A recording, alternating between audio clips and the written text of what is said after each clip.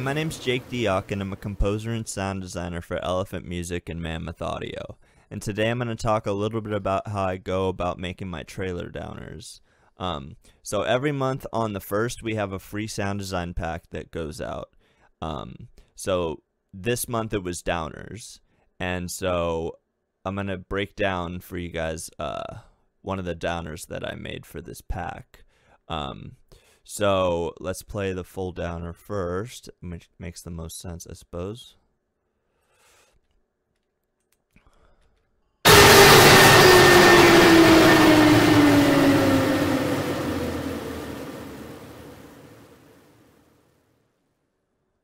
Okie doke. So let's kind of break down uh, piece by piece what this is made out of here. Um, it's not all that complex. I just have uh, with downers and with all all sound design really uh, a big element is uh, automation, MIDI automation and and uh, track automation. So um, a few things that I have going here. Uh, let's play this track on its own first so I could show you uh, what it sound sounded like. Oh, let me show you uh, the raw sound here because it's been stretched. So if you look here in Cubase, it's really easy to uh, stretch and manipulate audio. So I do this for my risers. If you watched my riser pack um, a few few months back, um, the the tutorial for that, I talk a little bit about how I stretch audio for that. Um, but so the way you do it in Cubase, it's really easy. So you just do sizing applies time stretch, and then you can grab any of this, and then instead of just elongating the clip like it would for normal normal audio clip when you have just the normal uh, pointer selected when you do it when you have this selected, it stretches the clip instead. Um, so that's super useful for for making you know really cool original sounds, uh, especially for making drones on their own. If you're not for for this, I'm using all density. Um, but if you're making drones on your own out of just different stuff, I mean, you can make drones out of people's voices, all kinds of different things. Um, so that's a cool little feature that you can use in Cubase. Um, so the reason why I'm playing it out of the file is because uh, I don't want it to, it's manipulated.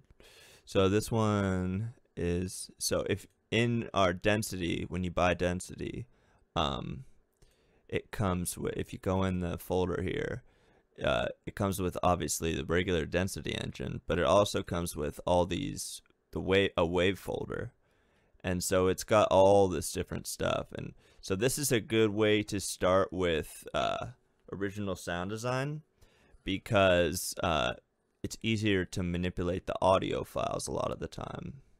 Um, so this here is some downers that are already in here, for example.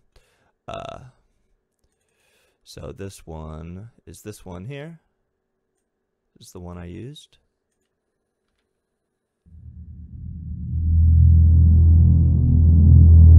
So there's the original drone that I started with there.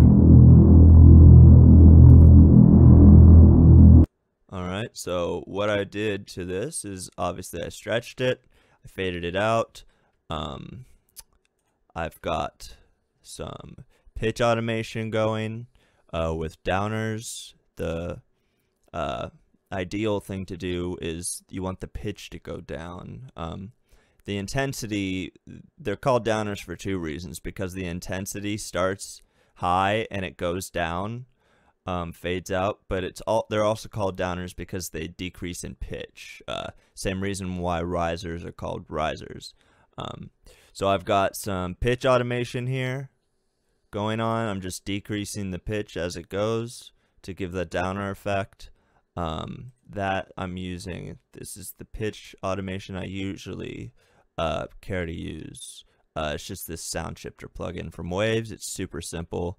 Uh, you just shift it. I like to shift it by cents. Uh, that's the best thing to do because if you shift it by semitones, it's going to sound chunky. It's going to sound da da da da da. It's not going to sound smooth. If you shift it, uh, cents is a lot smaller. Uh, so when you shift it by cents, it sounds like a smooth decline instead of this chunky step sequence. Um, so that's what I have going on here. And then I have volume automation uh, taking down the intensity. Um, so I'm using, it's really easy in Cubase to, you can do track automation very easily here on this front page. So um, if you, when you have any of these plugins in, it's obviously you can do the volume. Um, you could do that in any DAW easily. Uh, but what you can also do is any plugin that you have, you can just go in here and you can choose that. So um, open this guy and then you can go to your inserts and all your plugins that you have currently used are here. So I'm using, um, you could do, I think it's just called pitch. Uh, yeah, see, it's just called pitch. Cube, Cubase calls it its own thing a lot of the time. Um, but so you just use that, and then I've drawn in the automation here. Um, I'm also using my favorite uh, saturation plugin, which is iZotope. Um, I'm using this plugin. Uh, I think it's one of the aggressive ones. Uh, oh, it's heavy. Um, I usually like to go with the aggressive or heavy ones because I'm an aggressive and heavy guy. Um, so that's a cool. It's, it's just a preset. Um, a lot of the times, a lot of the my my philosophy on presets is you start with the preset and then you go from there. You know, if you if you don't like how the preset sounds, it's a preset for a reason because it sounds good. You know, so um, I start there and then you know uh, see like I've decreased the dri drive a little bit and the gain so it that's a it's a good jumping off point always to to use presets um, it's my philosophy anyway on it um, and I'm just doing a little bit of a low cut here on it so um, let's hear how that sound sounds now that it's manipulated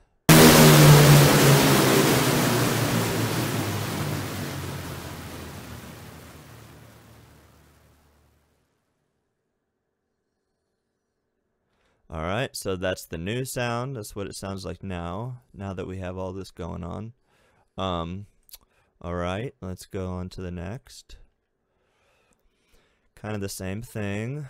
Uh, a lot of these are kind of going to be the same track automation because you want kind of you, most you want most of your stuff to do that decline in pitch.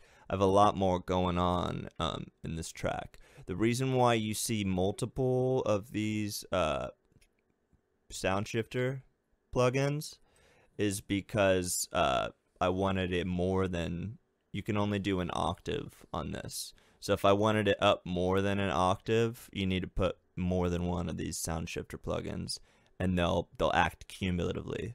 Um, it'll just keep rising or lowering depending on you know where the original sound is. Uh, I've also used I kind of wanted more of a guitar sound for this, uh, so I've just used this VST amp rack. I use this a lot of the time for distortion as well. Probably another low cut. Um, I like to do that after I'm done manipulating the sound, just to clean up any, you know, gunk that's down there at the bottom. Uh, a lot of this stuff down here you're not even gonna hear uh, you're just gonna feel it um, and if it builds up too high in this low area uh, it's gonna uh, sound really muddy very quickly alright and I've got this ring mod going on alright and so this sound now that it's manipulated oh and I've stretched this too same thing I did with this one. That's a big thing I like to do.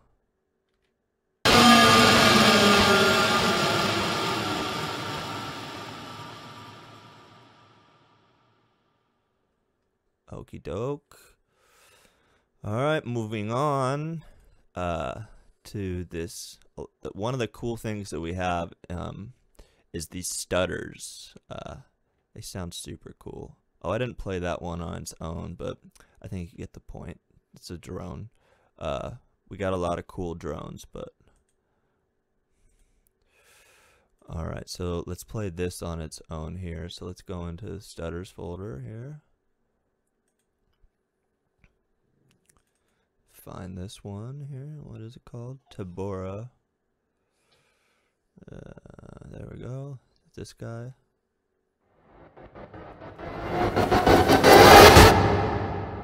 Alright.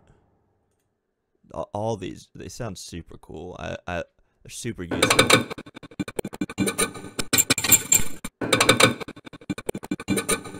Really cool. I really like a, all these. Super valuable, super useful. Um, so with that, once again, I've stretched it. Uh, because you don't want it to sound like the original, you know, file when you're creating your, you know, your custom stuff. You, you don't want it to sound like because if, if you use the this the the sample just as is, I mean, people are gonna know that it was from this library or whatever. So, um, if you're making your own custom stuff, you don't want it to sound like it's from this library necessarily. If it's a custom sound design work, you know. Um, so all I have going on this is I've stretched it and I've put a low cut on it for the same reason that I put a low cut on everything. So.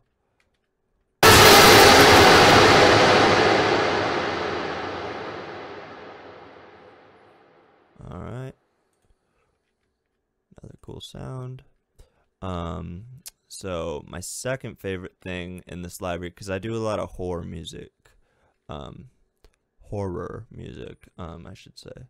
Uh, so these metal swipes that we have in here are also just super cool. Um, why isn't this folder opening now? Okay, super cool. Um, so let's see, where are they again? Oh, they're in uh revert no transitions, that's right. Okay, so uh the- these metal ones. So we have a lot of these cool transitions here. Uh there's kind of uh things that you can use between your acts if you're uh if you're at a stopping point between your acts. Okay, so let's see which one is this. So this is 23. Let's check this one out.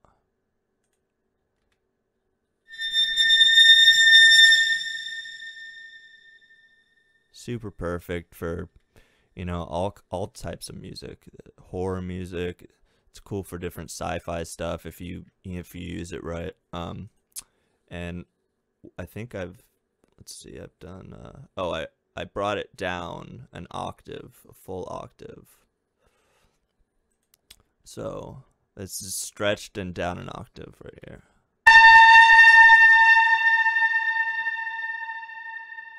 All right. Moving on. This is uh, one of the reverse effects that we have in there. And I've just done some pitch automation. Haven't done anything with the volume. Um, and it's the same pitch plugin, obviously, that I normally use. And I guess I close this down here.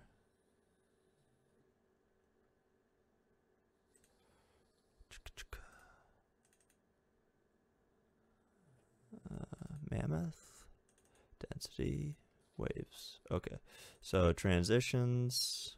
Oh no, it's a uh, reverse, reverse effect. So I think with this, what I did is I just reversed the reverse effect and made it forwards. Um, and I don't think this one has a tail. Oh, it's one of the tonal ones. That's right. Okay. Uh, 15.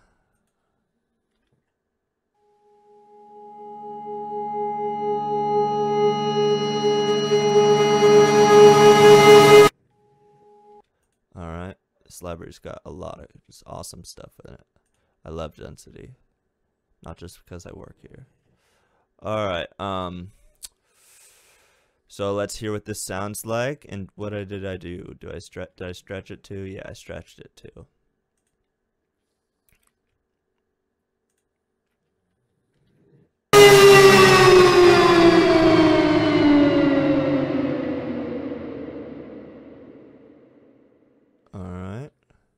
Cool sound. Um, and let's move on to this last one here. So this is one of the organic transitions. Um, so yeah, look, look, I stretched all every one of these sounds. In fact, it's a common thing that I like to do. Okay, let's see. So this one is organic transition. And number two. Here we go.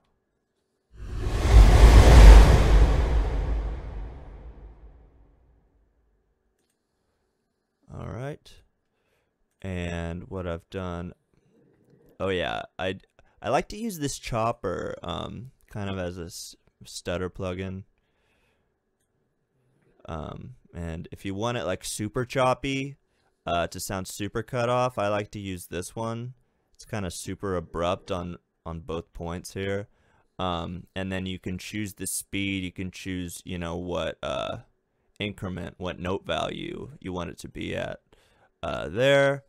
And so I've used uh, my go-to here. Uh, and I've also used some pitch automation, I believe. Oh, I didn't do any automation. I'm just bringing it up an octave. Um, and then I'm probably cutting off the bottom of it. So it's not too muddy. Alright, let's check this out. This is the last sound that I used in this.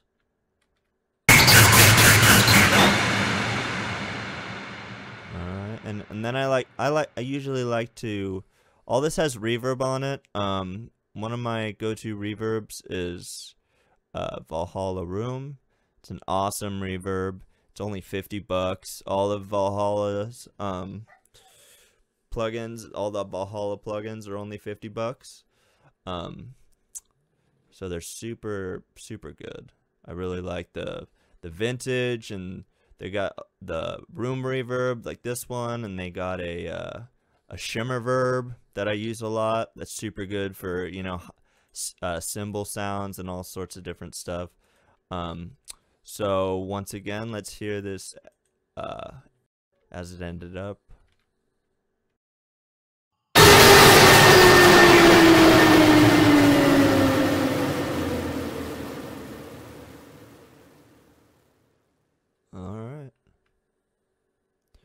So that's how I make my downers. Um, you guys have a great day, and I hope you uh, had a good time learning how to make downers.